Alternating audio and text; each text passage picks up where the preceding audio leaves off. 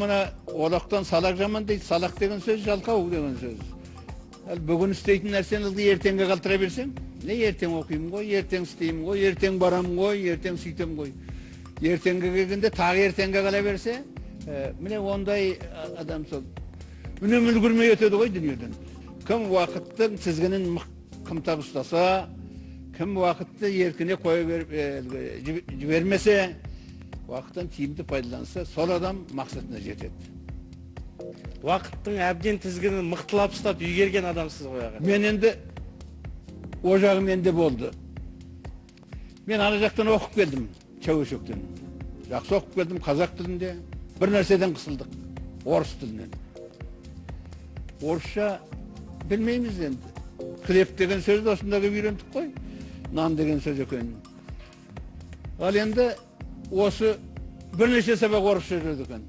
Нагрузка керемет болды енді. Орысша үйрену керек күндіз түні бір жарты жыл бір жылдан кейін шүкір ә, қатарға қосылып кеттік қой. Жарты жылдық емтиханды переводчик арқылы тапсырдық емтиханды. Әлгі жаңағы орысша сабақтардан. Ал жылдық емтиханды ә, тәржімасыз. Өздеріңіз. Өзіміз тапсырып кеттік. Бәрекелді. Демек бұл сол еңбектің арқасы.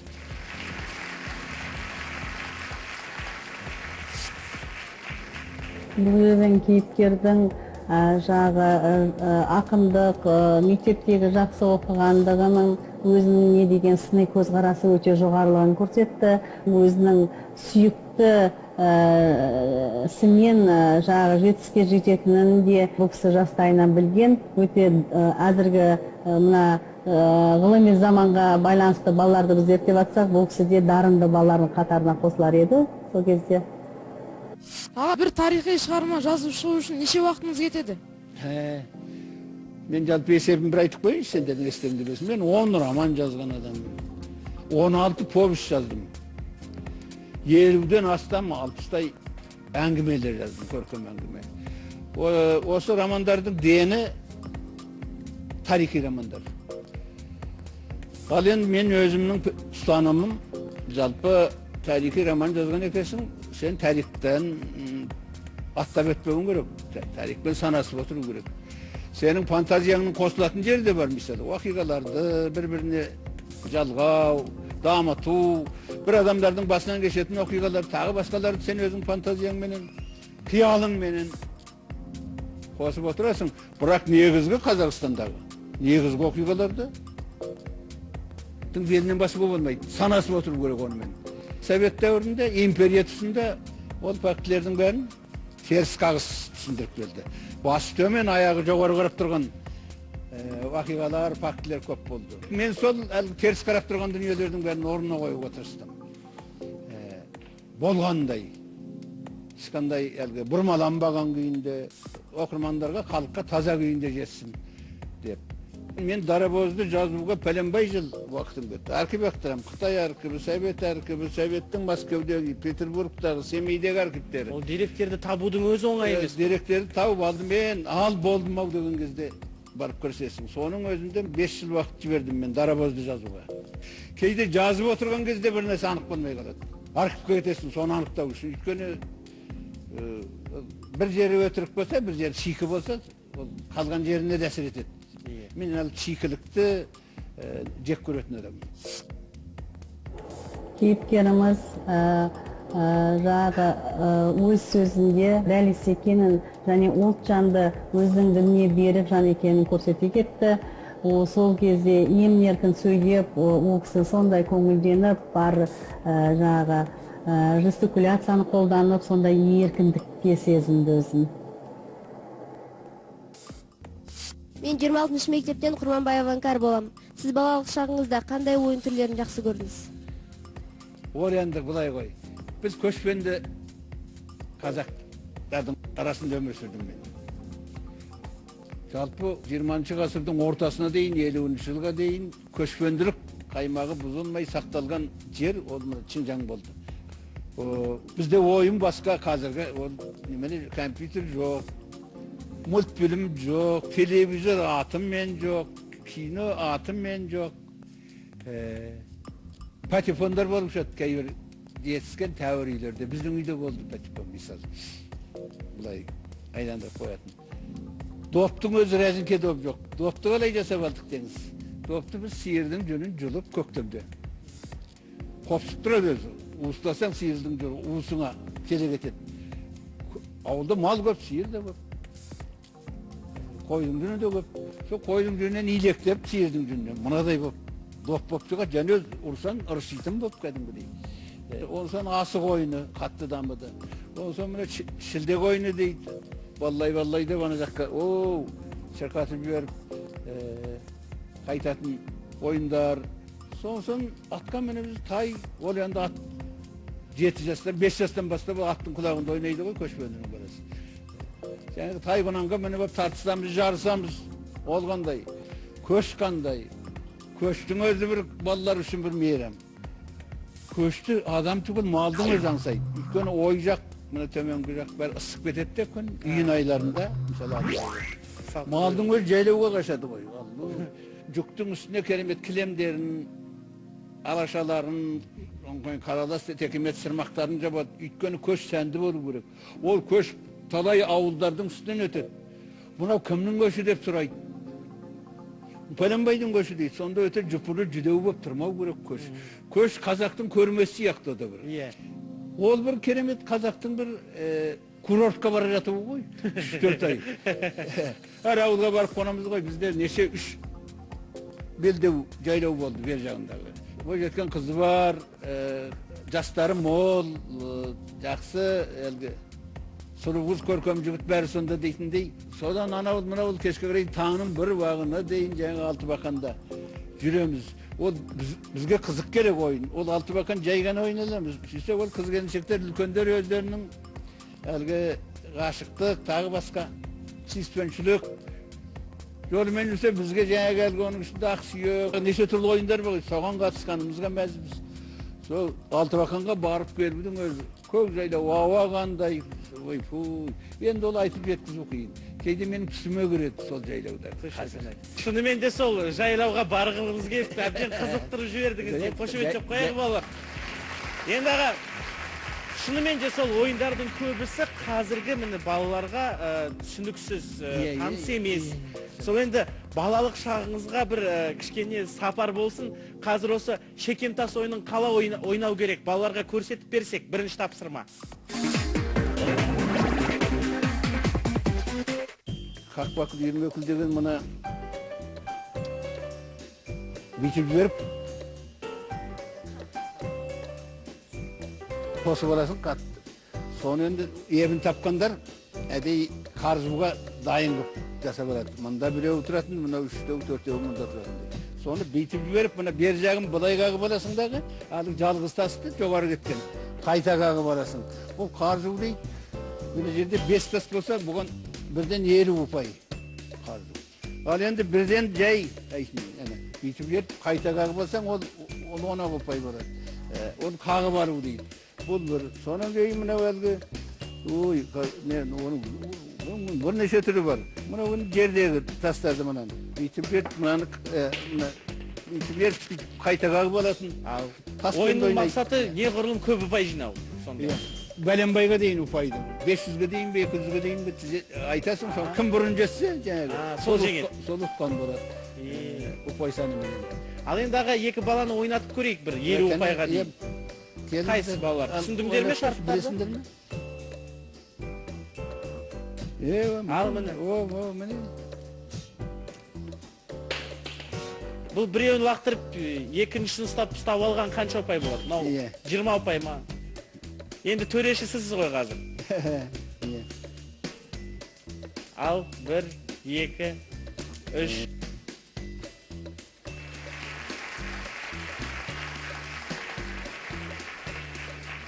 Е, анау қақпасы иә иә о да бар дұрыс а ондай ондай да бар тағы қандай түрі бар сол көрсетіп жібер үшеулеп бесеулеп деген дағы бүйтіп әрқайсысын мына жерден өткізесің енді біліп тұр балалар жақсы е е е е түсінікті бәрекелді қошеметтеп қояйық рахмет сіздерге балалар рахмет қабдеш аға. Балалардың санасынан қазір өшіп бара жатқан әдемі бір ойынды жаңғыртып ә, қайтадан есімізге алып жатырмыз. Тапсырмадан өттіңіз бірінші. Алдыңыз бір. Қазір сұхбатымызды жалғастыра берейік. Балалар кімде сұрақ? Ә, газет журналда жұмыс істеген кезіңізде жазушы болуыңызға ықпал етті ме? Жақсы сұрақ. Мен мына газетті істедім. Қазақ әдебиеті газетінде. Университет бітірген соң үш жыл қазақ әдебиетін істедім. Он жыл жазушы баспасын істедім. Тура кітап шығаратын жерде. Осының бәрі әдебиеттің қайнап жатқан қазаны. Және қазақ әдебиетінің сын бөлімін істедім басқа мына мұхтар мағауин екеуміз сын бөлімінде. Осы нәрсе менің әдебиетке бірден қосылуыма төтеден ортасын ойып тұрып қосылуыма себепші болды. Өйткені барлық ақын жазушыларды тануыңа көмектеседі.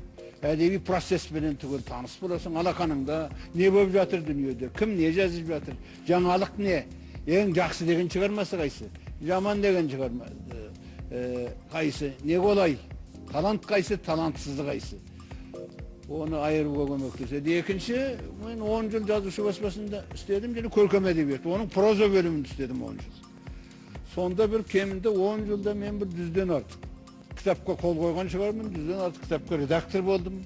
Атақты есенберлиннің көшпенділеріне мысалы редактор болдым мен. Міне осының бәрі мені қатты сылдырды. Ә, қалай жазуды да үйретті де кейбір шығармалар қалай жазбау керек екенін үйретті. Қалай жазбау керек? Осы бәрі пайдалы нәрселер көп рахмет. Сіздің шетелде жарық көрген қандай шығармаларыңыз бар?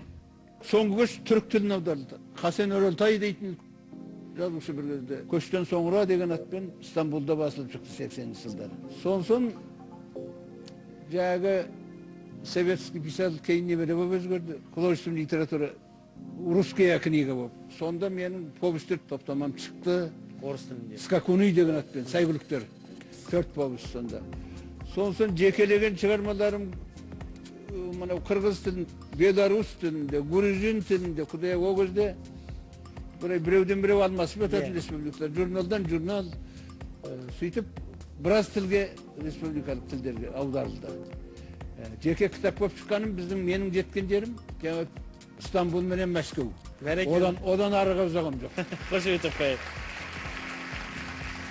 шығармашылығыңызды өлең жазудан ә, бастапсыз. Поэзиядан ә, прозаға ауысуыңыздың сыры неде? Қазақстанға оқуға келдік. Топтап өлеңдерім ашрақта да басылды. Сол кездегі мына лениншіл жас дейді пионер журналы тағы көп көп басылымдарға өлеңдерім шықты. Ә, сонан кейін мен өлеңдетіп жүре берер ме қайтер едім? Міне екі курс бітірген соң бізді қытай өкіметі оқытпай қайта шегіндіріп алып кетті барсақ екі елдің арасы бұзылған кез совет қытай арасы қырғабақ араз енді ғой біз советтен оқып келдік деп бізді алақанға салғаны сол советтен оқығанымыз үшін біз жауап беруге тура келді бұлар ревизионистер өзгеріс неменелер болып есептелді солардан не үйрендің не жұғып келді саған қандай бәлені жұқтырып келдің осы үшін жауап бердік қой қандай ұлтшылдықты үйреніп келдің не тапсырды ол жақта алашордашылар не, не тапсырды осылай әңгіме төрт жыл мен қалдым оқудан сүргінде қуғын сүргінде жүрдім ой ой бармаған жерім жоқ жер астына түсіп орта ғасырлық тәсілмен көмір қаздым ана өлімжінің ар жағында шисан дейтін тауда ылғи ауыр еңбекке салады қытайдың тәртібінде еңбекпен өзгерту дейтін ұғым бар мына қылмыстылар теріс ойлайтындар ұлтшылдар ана ауыр еңбек жасаса түзеліп кетедіміш содан соңғы бір жылында үрімжі жақта жүрмін ғой бір жылында чәуешекке келіп ақыры жаңағы алпыс екінші жылғы көшті дайындадым ғой жай жүрмей өйткені ол ашаршылық көмектесті маған халық деген әлгі коммуна дейтін бәлеге үйіріп тастаған ортақ қазанға үйге от жақтырмай түтін шығартпай түтін шығарған. О үйлерді жауапқа тартады. Осының бәрі қазаққа қиын болып тұрды. Туған жерге көшу керек деген мәселені дайындадым бүкіл елге ол үшін мәскеуге кремльге хаттар жаздым. Бұл жақтан жа- тәуір жақсы хабар келді. Қарсы емес екендігі белгілі. Содан алпыс екінші жылы дірілдеп көшіп өттік қой ал көшіп мен қайтып келгенде төрт жыл мына жақта екі жыл оқығам төрт жыл ана жаққа кетті мен өзі жиырма бес жиырма алтыға келіп қалдым басқашамын баяғы қабдеш жоқ баяғы алып ұшып тұрған романтик албырт ақын мен көпті көрген жаншылған жасыған ойшыл керек десеңіз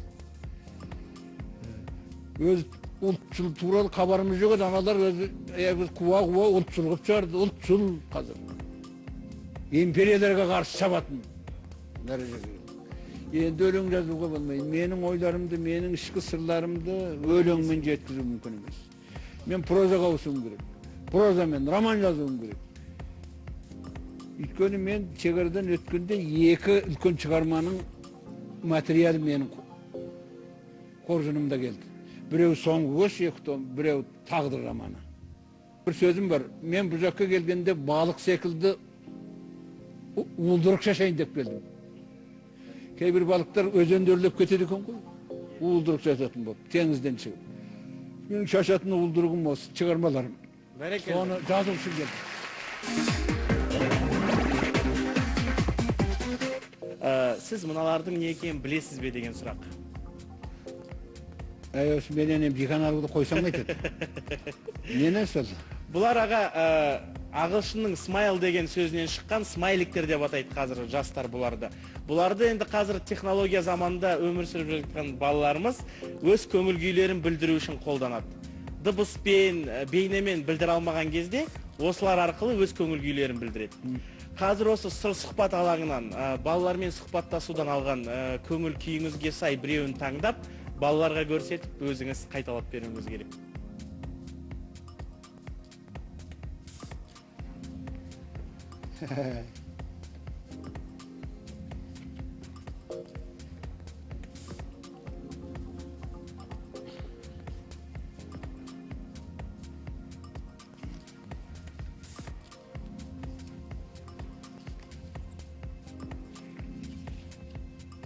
біршама адами нұсқасы бар екен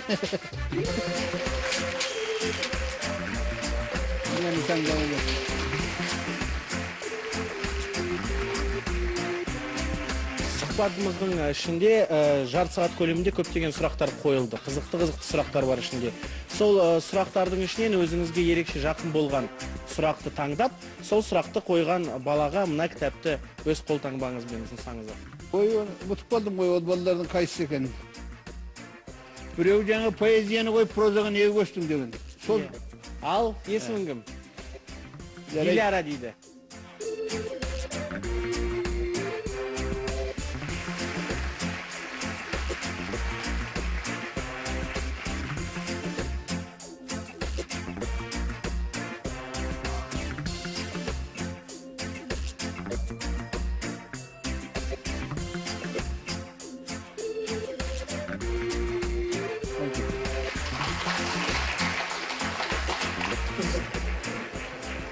ірі тұлға жазушы мен балалардың арасында сондай ол кісінің өзінің мінезіне сай жақсы сұхбат болды деп есептеймін бірақ жазушының да айтылмаған ойлары қалды деп ойлаймын.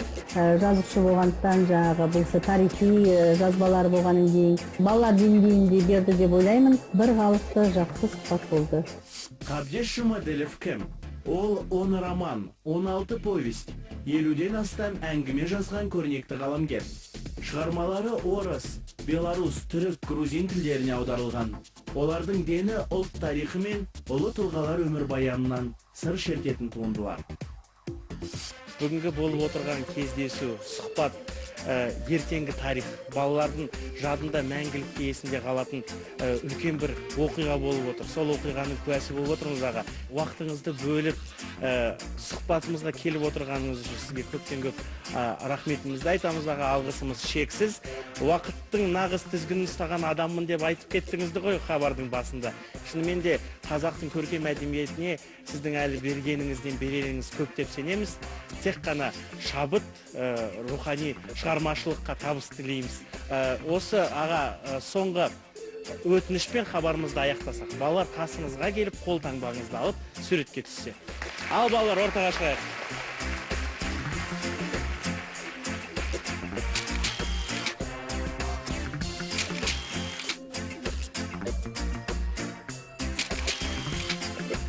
Кең көлемдегі шығарма повесть пен роман жазудың шебері қазақстанның халық жазушысы мемлекеттік сыйлықтың иегері қабдеш жұмаділовпен болған сұхбатымызды тамашаладыңыздар. Бүгінге осы құрметті ағайын бізді әр жексенбі сайын ұлттық арнадан көре аласыздар. Апта айналып келгенше сұр сұхбат алаңында кездескенше күн жақсы.